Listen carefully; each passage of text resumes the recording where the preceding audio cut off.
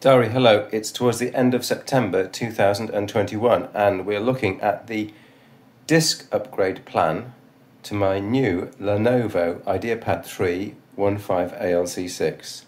So, as you may know, I'm upgrading this laptop. I bought it specially. It's a low cost Ryzen 7 laptop, and we're in the last stages of doing the of upgrade, and today it's the disk upgrade. So, I've taken off the 10 screws which sit around the case standard Phillips screws.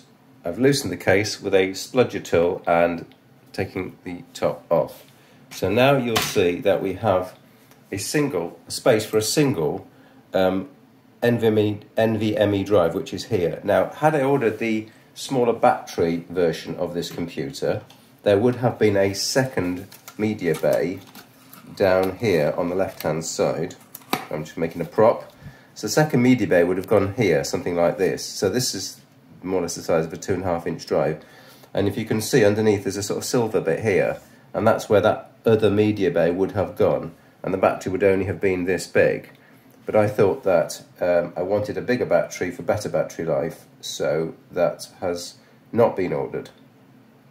So, uh, by the way, the battery is easily replaceable, trivially so. So we're down to changing the disk drive. So hang on, look at this very technical process. So um, I'm going to undo this screw.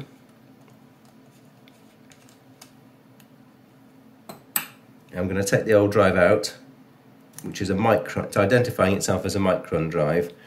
The, uh, the new drive, the new rocket drive, came in a nice fancy metal box, which I shall be filing somewhere. Put the new drive in.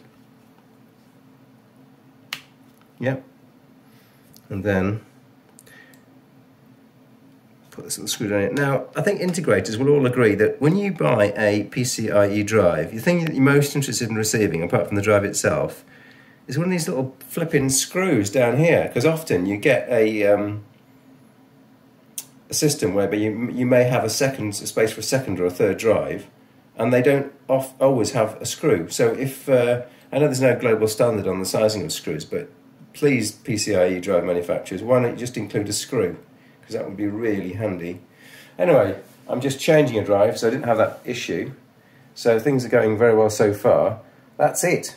I've just got to put the case back on. Um, and as, as in previous videos uh, about this lap, the wonderful laptop, you'll see I've already upgraded the memory and I've also upgraded the, uh, the networking card.